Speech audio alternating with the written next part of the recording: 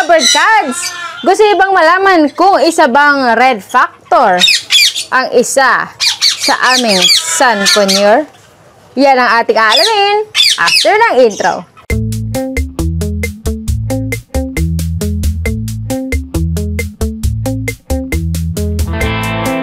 Hello, Dabber Cats, and welcome back for another video. Ngayon sa video na ito ay tulungan nyo kaming alamin kung isa nga bang red factor o kaya may lahi bang red factor ang isa sa amin. Sun Conures? Alright, so bago natin na uh, umpisahan ay syempre gusto ko lang i-welcome ang mga baguhan sa ating channel. Welcome to Munting Ibunan. I-click mo lang ang subscribe at ang bell button para lagi kang updated kapag mayroon tayong brand new videos. Okay, so first of all, ipakilala ko muna sa inyo ang aming mga sun conures. Alright? So, yung nakikita nyo po, mga Dabber Cats, yan is I see Sunshine. Okay? Yan po si Sunshine. Siya po ay obviously babae. Alright? At ang katabi naman niya, yan po ay ang uh, lalaki. At ang pangalan niya po ay si Sunny. Okay, so ayan po mga Dabber Gods, pinapakilala po namin sa inyo si Sunshine at si Sunny. Ayan. So, bagay na bagay ang kanilang mga pangalan sa kanila, di ba? Mapula-pula. Okay, so, ngayon, The Bird Cards, ay uh, tulungan nyo kami kung posible ba na merong lahing red factor itong si Sunshine. Ayan, so makikita nyo po mga Bird Cards, di po ba ay medyo uh, mas mapula po siya kumpara dito kay Sunny. So, sa mga newbies po, mga Dabbered Gods, ano nga ba itong red factor na tinatawag natin? Okay? So, isa po yan na ang mga high mutations na tinatawag sa mga ibon. Okay? So, mas uh, mataas ang value, high value, mas mataas ang presyo, syempre, dahil ang mga mutation na to ay uh, medyo rare. Okay? So, hindi ka basta-basta makakapagpalabas ng ganitong klaseng mutation. Ayan. So, uh, ayan po ay uh, tinatawag na red factor. At bakit red? Kasi mas uh, more on pula ang nilalabas nilang mga kulay. Ayan. So, yan ang tinatawag na red factor. Okay? At uh, ayun nga is ngayon, sa ngayon is medyo nauuso sa um, sa atin dito sa Pilipinas ang uh, red factor ayan. So uh, meron meron na ring parami na ng parami. Actually ang mga nag-aalaga at pasikat na ng pasikat ang mutation na red factor dito sa atin. Ayan. So uh, kung ikaw ay isang uh, batikan na breeder ng red factor ayan ay uh, makakatulong ka sa amin bird gods kaya kung sa tingin mo ay posible na may lahi na red factor ang si Sunshine, ay um, i-comment mo na sa comment section. Ayan.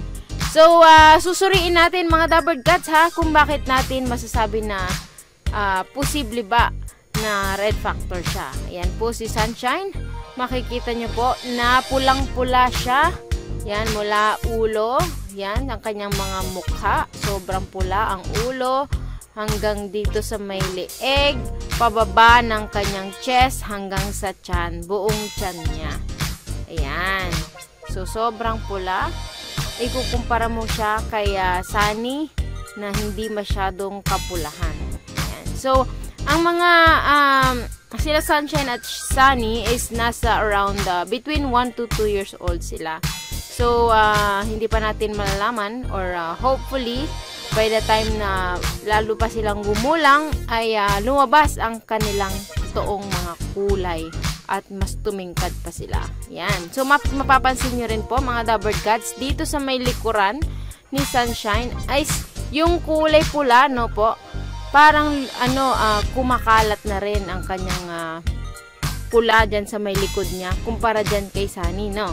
So kung mapapansin nyo um, parang mapula mapula na ang kanyang likuran. Ayan. So, kung nung nabili po namin ito, mga Dabbered Gods, sa uh, mga 3, 4 months na, is uh, wala pa siyang ganyang masyadong kulay, yung katingkad na, yung, yung pula, yung pulang-pula.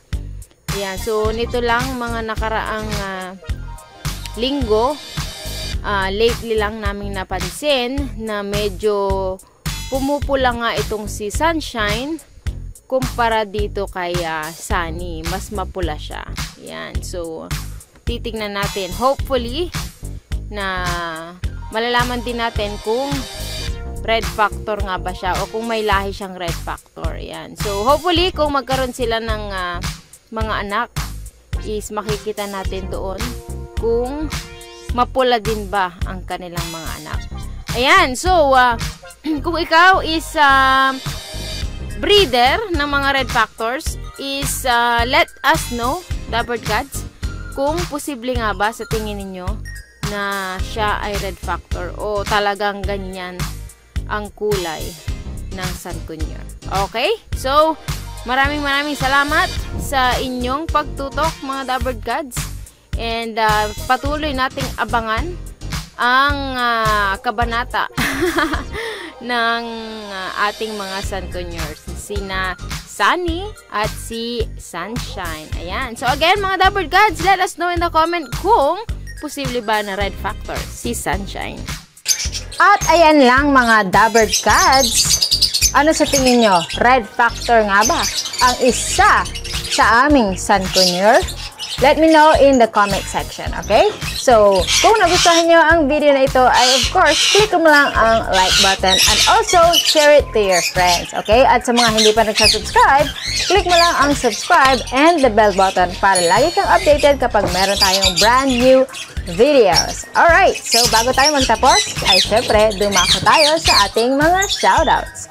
Alright, so shoutout and happy viewing to Leno Basyong, kay Yuan Gabriel Palmar, kay Cyril Allison, kay Flor de Liza Palomar, David Maliwat, Rafael Cabrera, Nognog TV, kay Aguinaldo uh, Joar, Kian Gaita, kay EDC, kay uh, Ibed Kilaton, Gerald Hello Men, hello sa inyo lahat and happy viewing, shoutout sa inyo.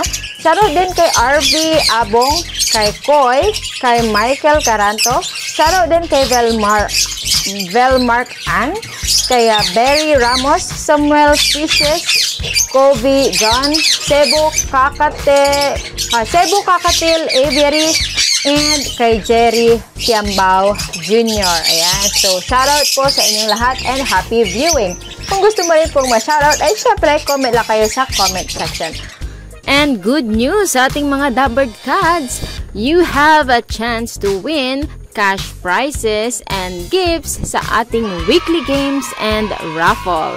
Nangyayari po yan every Saturday at 3pm sa ating Facebook. Okay? So, every Saturday po at 3pm is nagla-live po tayo sa ating Facebook page Ayan, so kung gusto nyo pong makasali sa ating mga games and raffle at manalo ng mga cash prizes and gifts and Picoy products, ay i-like and follow nyo lang ang aming Facebook page, Munting Ibunan. Ayan, para kayo ay laging updated sa ating mga palaro, ating mga pa-surprise, mga raffles, ganyan. Alright, so Munting Ibunan po i-click nyo lang ang follow and like nyo lang po ang aming page. Okay, so paano ba itong games na to? So every Saturday po is magla-live po tayo sa ating Facebook page and sa lahat ng mga nandoon present sa live po natin ay may chance manalo sa ating mga games and also sa raffle naman